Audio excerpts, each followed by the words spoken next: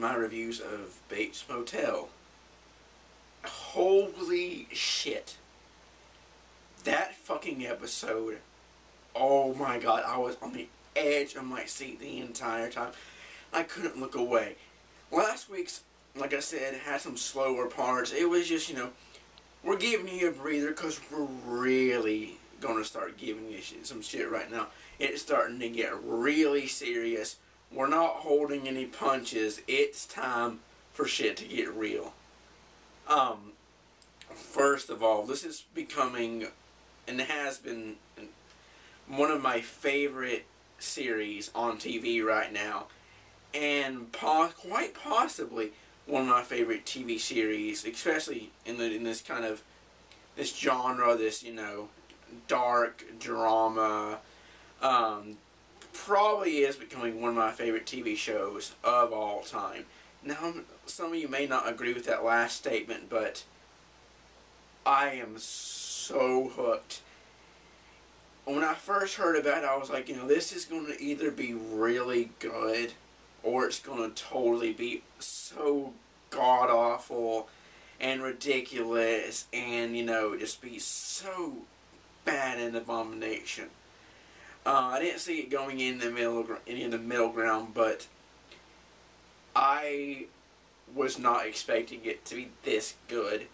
From the moment it started, even though at first I was like, you know, still at first I was like, okay, this looks good. It could go either way. It just kept getting better and better and better and better and better. And that's really hard for any show to do a lot of times you go back and forth. You'll be really good, and then you'll be bad, and then you'll be good, you'll be bad, blah, blah, yada, yada. And yes, it's had some episodes that are weaker, but for the most part, it's really excelled.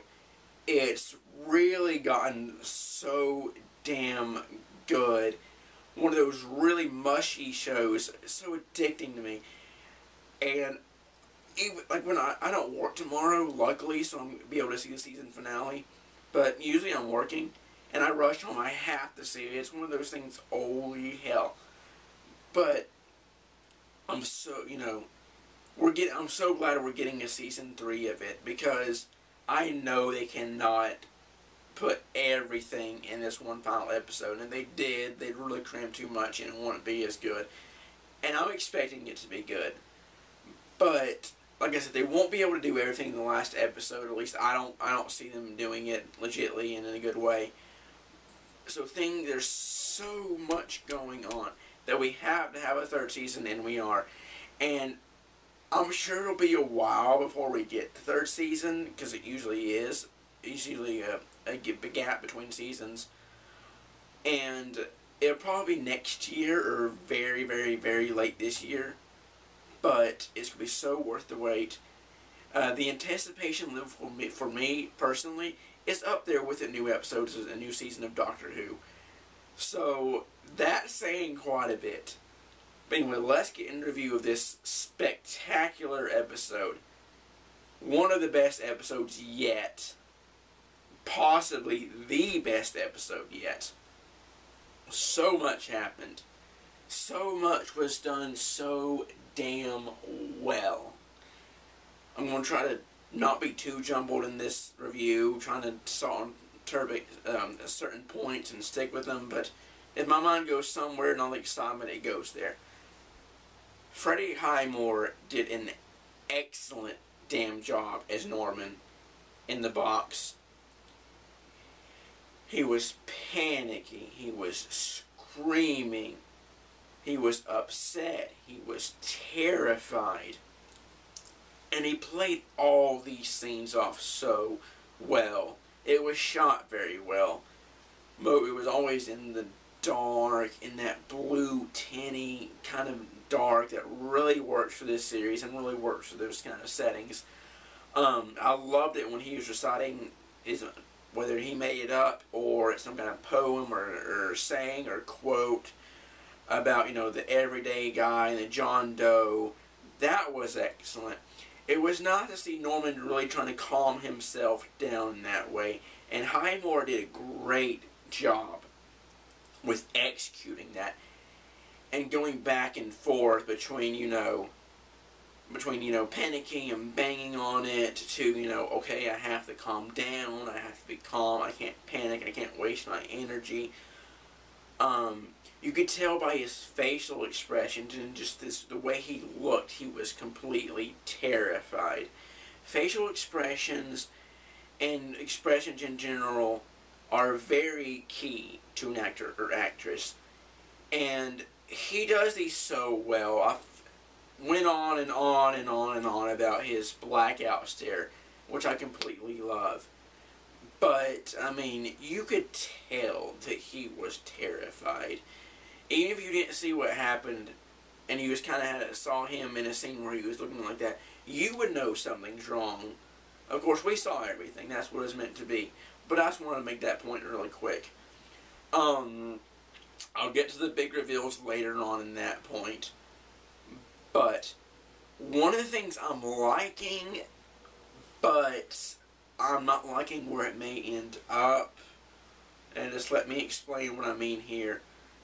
I'm really liking how Emma and Olivia Cooke is a really great actress. I'm really looking forward to seeing her in more stuff. She plays Emma so well.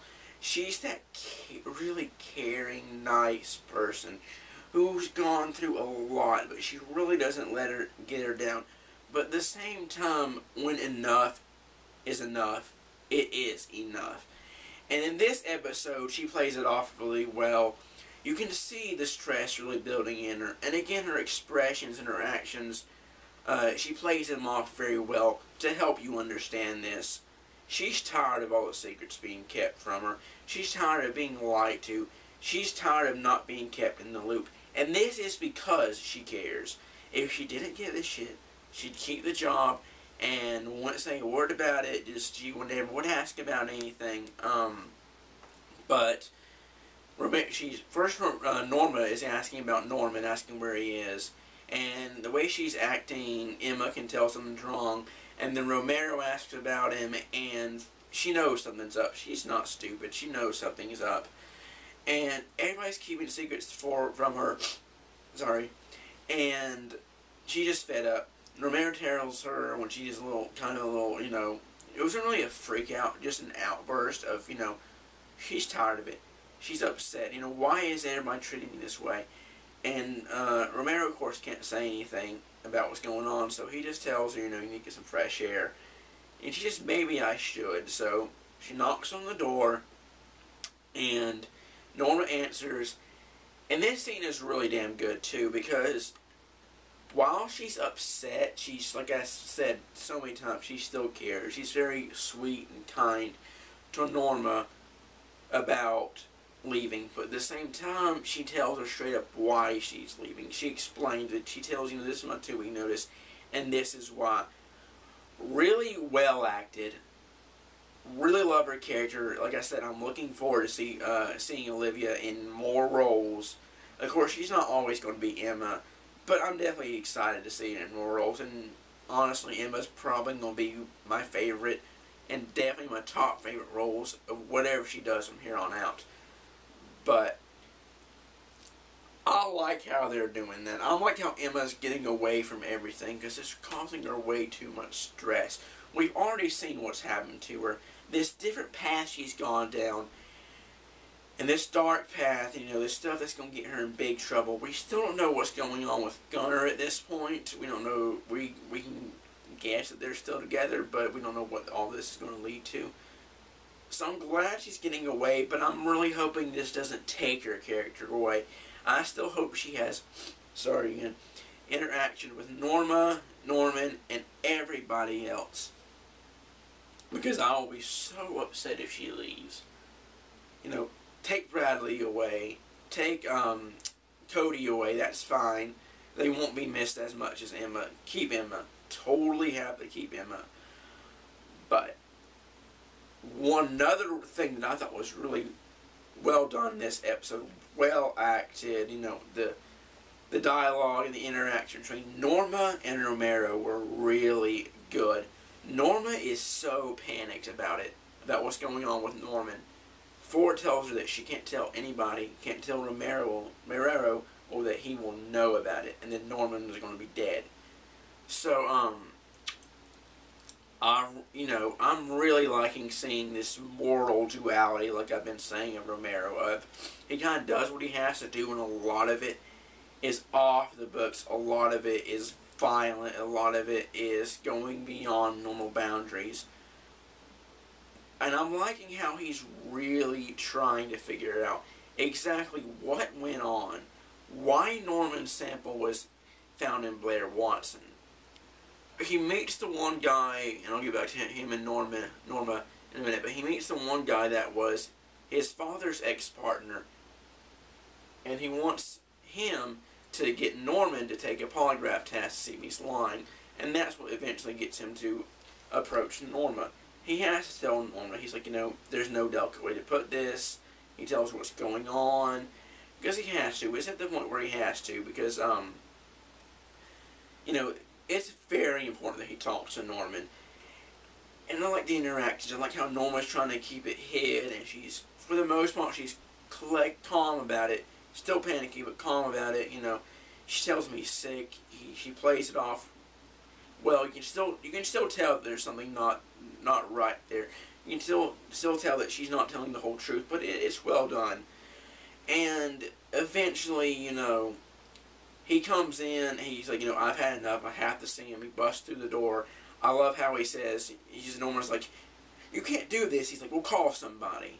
So she eventually, um, finally does have to tell him what's going on.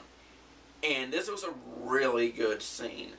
Really well acted. The way it was shot, the dialogue, just the interaction between the characters was really well done. I like how Norma said that, you know, I trust you. She does trust Romero. And that, excuse me, is a good point. He is a trustworthy person for something like that. Maybe not in everything, but because, you know, like he does what he has to do. And often, like I said, it's stepping beyond the boundaries. But he says he'll take care of it. And he rushes out the door. And I like it. I love the interaction. I love how it's just so, you know, that matter of factly you know, I trust you. I'm going to take care of it. This is what's going to happen. You know it's going to lead to something.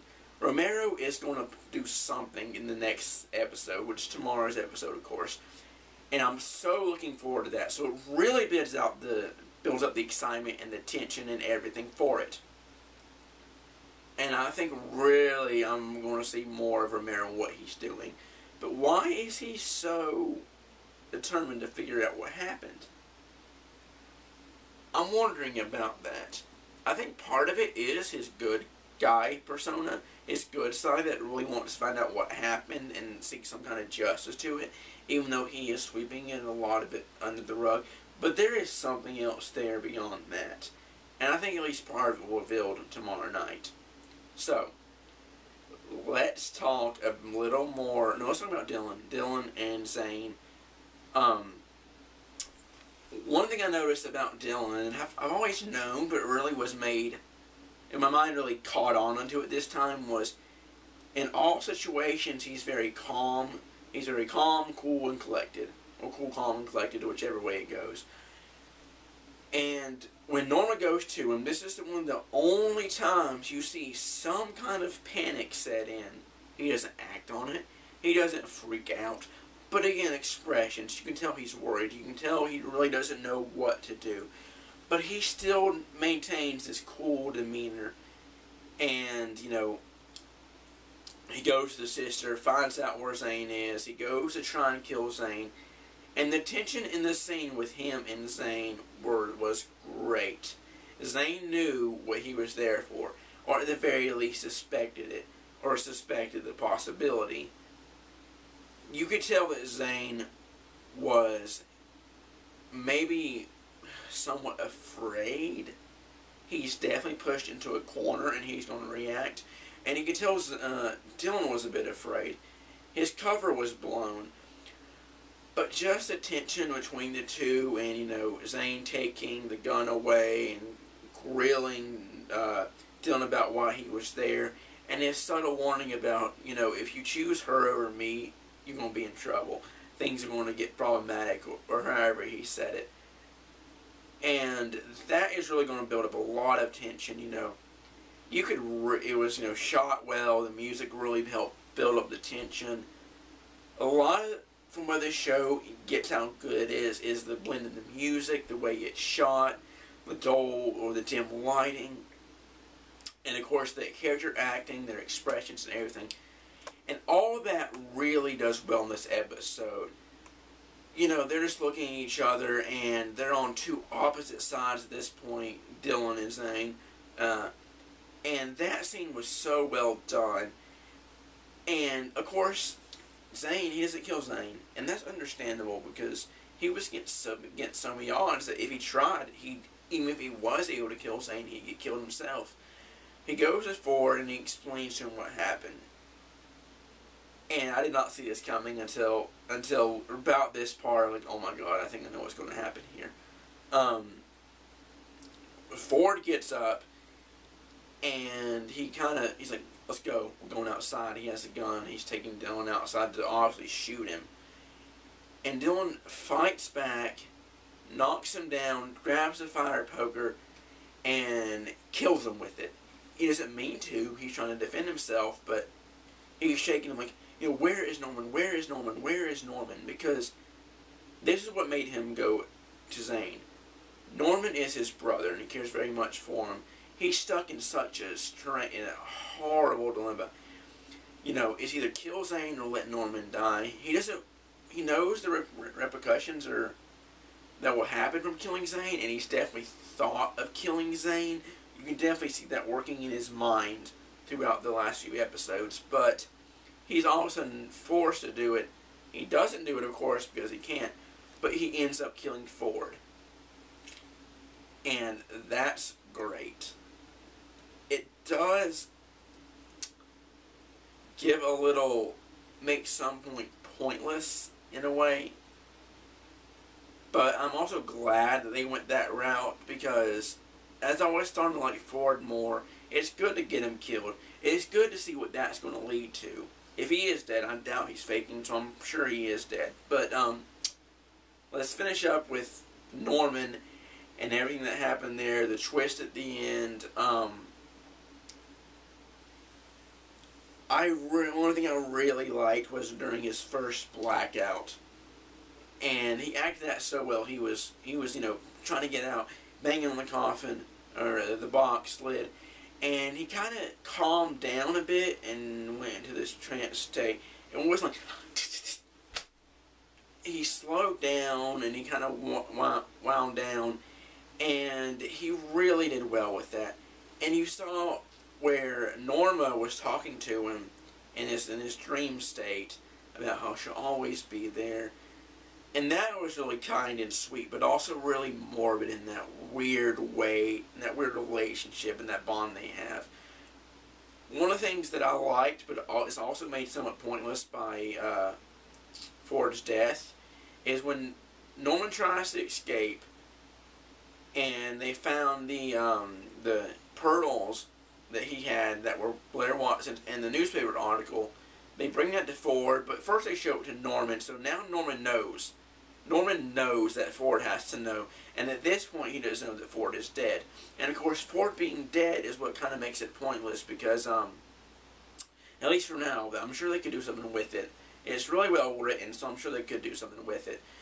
But for now, I've got to wrap this up soon because I don't know how much longer my camera has. Um, for now, we don't know what that's going to do. We know that Ford knows. We know that Ford's dead. We know that uh, Norman doesn't know that Ford's dead, but he knows that Ford knows. So I'm really interested to see what that goes with and what they do with that. But the biggest reveal is that apparently Norman did kill Blair.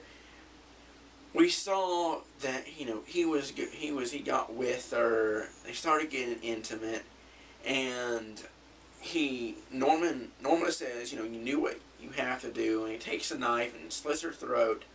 Oh, damn someone's in the air, I don't know. But um, he, you know, he washes off the knife and he flees. But this is the first time he's realizing what he did. He did in the box. He goes to that second blackout, and it, this is all revealed to him as well as the audience. And that's pretty much where it ends. You know, Romero's going to take care of some stuff. We know that um, Ford is dead. We know that um, Norman apparently did kill kill Blair, and all of it's going to boil up in this final episode. And I know they're going to leave on a cliffhanger for the third season. So really damn good so far. Really impressed. I love this damn show. Peace out.